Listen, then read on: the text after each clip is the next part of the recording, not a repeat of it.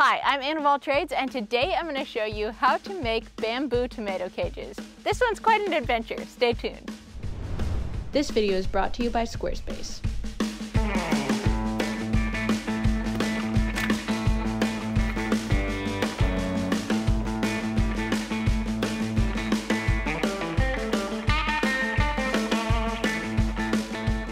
Here in my neighbor's bamboo forest. They planted this as a privacy fence and as you can see it's gotten a little out of control so I can do them a favor cleaning it up but also do myself a favor by getting some free building materials. One thing about cutting bamboo is that as it dries out it gets very very hard so when you're harvesting it you want to cut it as low to the ground as possible and also as flush as possible so that you're not leaving jagged edges that are going to cause problems later on uh, with as you're harvesting it. I have my Sawzall queued up here with a metal cutting blade. Metal cutting blades are great for this because they have very few teeth. Normally when I'm cutting wood, I would use a pruning blade, but because a pruning blade would shatter the bamboo, this is the better choice. For this project, I need about 15 to 20 pieces. Hopefully I didn't miscalculate. But I also want them to be fairly uniform in size. So about an inch, slightly over, or slightly under is okay, but it's gonna go together and look a whole lot better the more uniform they are. All right, this is why I have a farm truck. Just put these right up here. Little drag, little drag, it'll be all right. This will be great. So we're gonna just try to get these uniformly forward, but not so far forward that I uh, catapult myself if I hit a bump. I'm going to dream of being Inspector Gadget in this situation. Oh yes, got it. One last thing, just uh, ratchet her down. My work here is done. Let's go.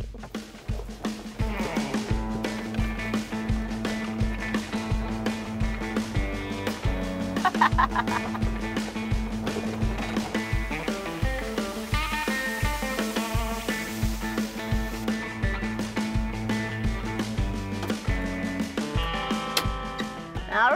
well, we miraculously made it in one piece. Let's, uh, ironically, I think taking them off will be easier than putting them on. Also, I would like you to be aware of this beautiful hitch I have since put on my golf cart. If you haven't already seen my golf cart video, go check that out. But this is a, a later edition that has made this little baby so much more helpful. Case in point. Hello, howdy boy. Are you, would you like to eat some bamboo? I don't know if you have ever had bamboo before. Timber! Well, actually, bamboo! Oh, I'm sorry, babies. Oh. All right, now that we've got this safely back here, it is time to remove some of the branches, get this all cleaned up, and ready to make some tomato cages. As we're cutting the branches off of these, uh, some of them you can just take with a knife, but I've found that the hatchet is a little bit more efficient and better on my hands. But we wanna go with the grain of the bamboo. You notice it gets bigger at the bottom down there, gets smaller at the top. That means that the grain wants to go this way.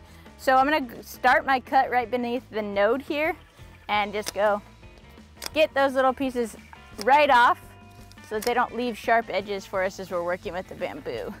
Then when you get to the end of your bamboo, it's one swift chop to cut the end.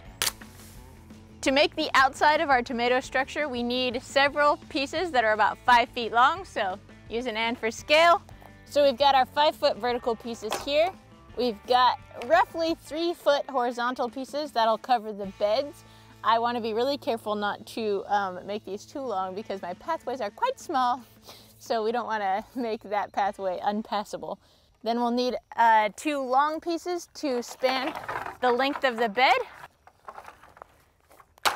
Let's do this. So first things first, we need to install our vertical pieces. And I have this handy dandy little digging tool right here to make space for it. And use everything that you've got to get it stuck. But once it's down in there, really doesn't matter because once we've got everything all attached, they're gonna be really sturdy regardless. You wanna put your verticals in in such a way that there's a little bit of the horizontals sticking out on either side because those are gonna be the braces where we put the cross pieces that, you know, kind of hold the whole thing together. To attach the horizontals to the verticals, we are going to use a Japanese lashing method, which is slightly easier than traditional lashing methods. But we're using cotton string here. You can use jute, hemp, whatever you've got around. But the crazy thing about this is how insanely strong this joint is once it's put together. And again, once there's multiple joints like this along the whole system, it's going to be very, very strong. I'm gonna use a story stick to make sure that I put all of these at the same heights because otherwise it's gonna look really uh, not great when I'm done. Put these sticking out ever so slightly so that they have space for the next rung of the ladder to go on. Clamp this guy on here. Check my height on this side as well. These are kind of arbitrary heights. I was looking at the height of my tomato plants right now and I just decided I needed that bottom branch to be on here for support and then I needed the, you know, the top one to be there for support when we need it. I will say too that we're only gonna put two rungs on right now and then as the tomato plants get taller, we'll keep adding more rungs. Once I've got these at the height that I want them, I cut an arm length of string. I divide it in half and then when I'm ready to go, I'll take off this first clamp. So to start it out, we split our string in half, we wrap it around, then we cross over the top on the inside, then we go around the back, and as every wrap that we do, we wanna pull it very, very tight. Now we go across the top and down, and behind, and up, across the back, then you split them, and then you go in one behind, one in front, and I will make an X appear right there. And then we do a frapping turn. So underneath, we twist there, then we go around, pull it very tight. And this will cinch all of the lashing together. We just cross above and below, constantly tightening. And after you've done like three, then you want to tie a double square knot. So first we go around, and that want to make sure that all of this is really, really tight because otherwise it will introduce a lot of slack. There you go. Now, that is insanely tight.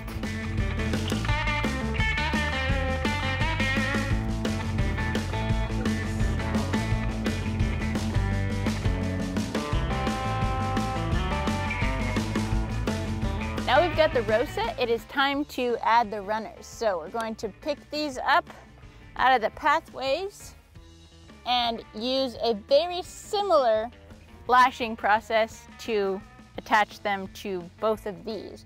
Once this is all locked in, it will be extremely strong. If you look at the end of bamboo, you'll see at these nodes, there's actually something in the way there. We want to be able to capture a smaller piece of bamboo inside a larger piece, so we're gonna poke out those nodes with a piece of rebar. So now you don't see it, Hold, please. Now, you see my teepees? If you get sick of lashing or you just want to make it easier to start, you can also actually use zip ties to make this whole thing happen as well.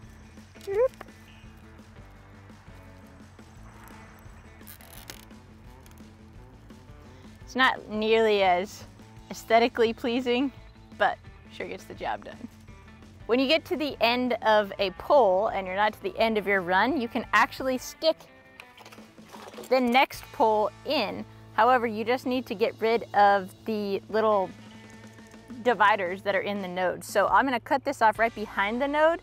Then I'm gonna use a piece of rebar to poke in and I'll be able to stick this thing in pretty far. And because it's got these serrated edges, it'll kind of wear that out inside. Now I can take the next section, actually just stick it right in. And this is gonna make even this much, much stronger as well. Now that's gonna be insanely tight.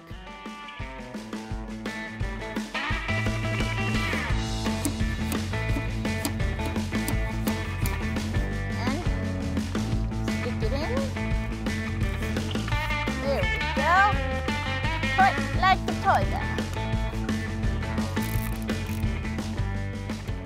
When I'm creating these videos, I like to create extra educational content to augment whatever I display in the video. Like for this video, I made a in-depth tutorial on how to do this Japanese lashing technique, and I was able to easily drag and drop that material onto my Squarespace website. I am not a web designer by any means, but Squarespace makes it so easy for me to maintain a beautiful, easy to navigate, easy to update website on their platform.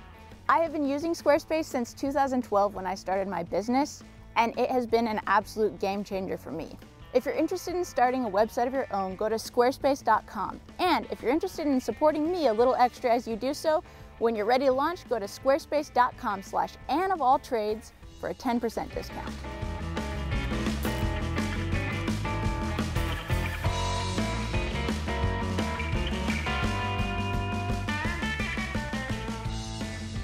And here it is, an insanely strong structure that with just a few pieces of string and zip ties is a free support system that will be reusable for many seasons to come in the garden. You can see more in-depth instruction on this project, many others, and get more behind the scenes footage as well as extra bloopers if you head on over to my Patreon page now. If you'd like to support the creation of these videos in other ways, there are links for my merchandise as well as links to my favorite clothes, tools, products, and many other things below. Cheers, I'll see you in the next video.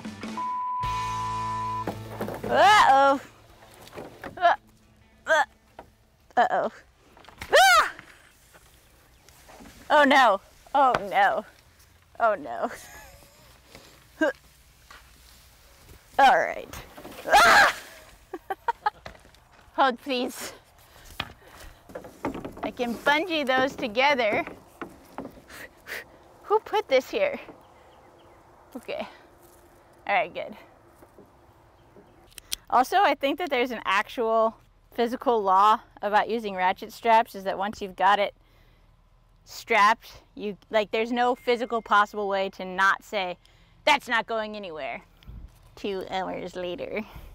Who the heck used this the last time? Probably They're fired. No. It's a honeybee. Why does he care so much? Please tell me it is a honeybee actually. And then once you get to the end where it's no longer that usable, you can just go ahead and make one swift cut. Okay, cool. you can make one swift cut to get rid of it. Well, maybe more than one swift cut. All right, well, it only works when the camera's not on. Set a bee trap up there and didn't catch any. Like a swarm trap for honeybees, not like to kill bees, just to be clear. Anne of all trades is anti-bees. And then when you get to the end where it's not that usable, you should be able to take one swift cut to cut it off. Swift. All right, cool. Also, I love that we're like in the middle of like the paradise with those birds. Okay, good. All right, good. To make the bamboo structures that are going to be the tomato cages, we need to cut a whole bunch of five foot long pieces. So, all right. Do you want to see that it's the same height as me? Yes. Oh my god, it's so creepy.